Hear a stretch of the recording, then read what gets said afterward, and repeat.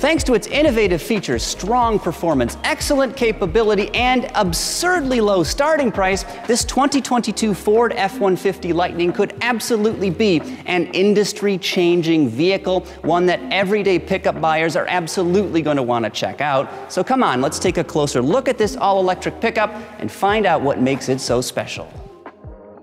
Okay, so let's start right up front. Sure, the Lightning has some unique styling elements like this solid grille and light bar at the top here, but for the most part, I mean, it looks like an F-150, and that is not a bad thing. Unlike some upcoming competing all-electric pickups, this thing is sure to appeal to more traditional truck buyers. In fact, this new Lightning shares the same aluminum cab and bed with the current F-150, which means any accessories offered for the combustion-powered model should fit here no problem. Keeping things simple, this all-electric pickup will be offered in just one flavor. You'll be able to get it with a four-door Super Crew body, that's the big one, and a five and a half foot bed. Why so little choice? Well, this combo represents the overwhelming majority of F-150s sold, meaning Ford is going right for the heart of the market. Behind that grille is a gigantic front trunk or mega power frunk as Ford calls it. Now we have an entire separate video all about this very useful feature, so make sure you check that out after you're done watching this video, of course. But now let's talk speeds and feeds. Every Lightning will feature a dual motor powertrain as well as full-time four-wheel drive, which is pretty cool and relatively easy to do in an EV because you don't need a transmission, drive shaft, or transfer case. In a move that could dramatically improve ride and handling, the Lightning also features an independent rear suspension, a first for an F-Series truck. Lest you think the 2022 Lightning is some frou-frou EV for pedicured urban cowboys to take through the Starbucks drive-through, this truck has gone through the same rigorous durability testing as other F-Series pickups. No sacrifices were made, says Ford. Accordingly, this rig is built on a massive frame which looks strong enough to support an 18 wheeler. Between the rails is the largest lithium ion battery pack Ford has ever offered, one with pouch style cells and a chemistry that uses dramatically less cobalt than before.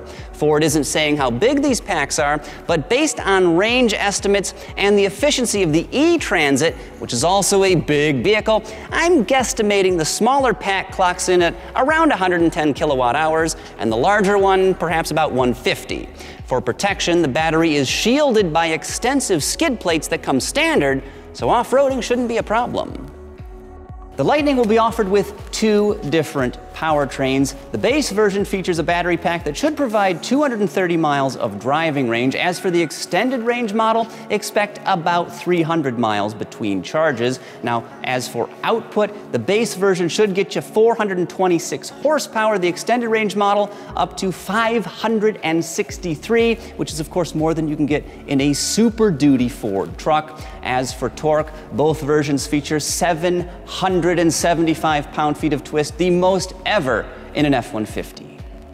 Now that's enough kibbles and bits to get this Lightning from 0 to 60 in the mid 4 second range. Terminal velocity is a claimed 105 miles per hour. Now, this is a truck, obviously, so it's got to be able to tow and haul. And if Ford is to be believed, the Lightning can do both very well. This truck is rated to haul up to 2,000 pounds and drag up to 10,000. Pretty impressive numbers, though. We don't have any idea what those are going to do to the driving range. If you're towing anywhere near the limit, it's probably going to be significantly reduced, but it's impossible to say right now because there are so many variables. But Craig, what about charging times? Well, good question, me. This truck comes standard with a mobile charger that runs at either 120 volts and 12 amps or 240 volts and 32 amps. Now, the former adds just 3 miles of range per hour, the latter about 21 miles every 60 minutes.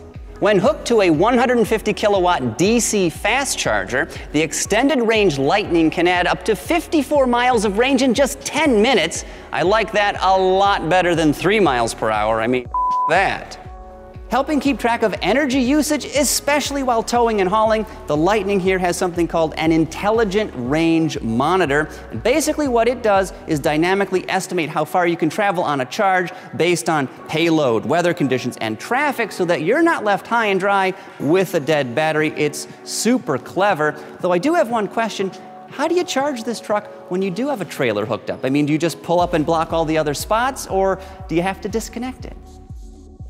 Additionally, the Reborn Lightning features a super clever feature called Intelligent Backup Power. Now, basically what that does is it allows this truck to provide 9.6 kilowatts of juice to power your home during a blackout. So basically what happens is you've got this plugged in to the wall charger, its battery is full, when the lights go out, it can seamlessly switch over to run your entire house right through its electrical system. You don't need any noisy generators or extension cords. In the future, Ford says you'll even be able to charge your F-150 Lightning overnight at off-peak rates so you can save big money. We also put together a separate video all about intelligent backup power, so make sure you click the link above to watch that, but not yet. Inside, the biggest change you'll see is right here. The Lightning features an available 15 and a half inch touchscreen running a Sync 4A infotainment system. Now, not only does this arrangement look good, it seems super snappy, and I've got to think this is coming to other F-150s sooner than later. And of course, we've also got a 12 inch digital instrument cluster. This arrangement supports wireless Apple CarPlay and Android Auto, as well as over-the-air updates that can be completed in two minutes or less, and they, of course, should provide better performance and new features down the road.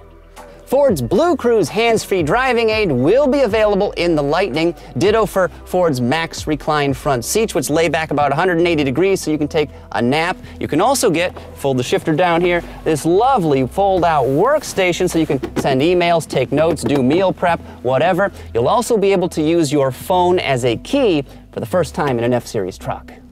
The 2022 Ford F-150 Lightning will be offered in four trim levels. It will be bolted together in Dearborn, Michigan, and sold in all 50 states of the Union, plus Canada, and it should be available starting next spring. Perhaps most impressively, this truck's base price is an astonishingly low $40,000 before any state or federal tax breaks. That actually makes the Lightning cheaper than a comparable gas F-150, and not by a little bit. An equivalent XL Super Cab 4x4 with the 3.3 liter V6 also runs about 40 grand, but it of course doesn't qualify for the $7,500 tax credit that the Lightning does. On the high end, you'll be able to push a Lightning to about 90 grand, which of course is more expensive than a conventional F-150. You'll be able to reserve one of these all-electric pickups starting right now. Just head on over to Ford.com and plunk down $100. Thanks to its capability, impressive performance, and bargain basement pricing, this reborn Lightning looks like an absolute game changer.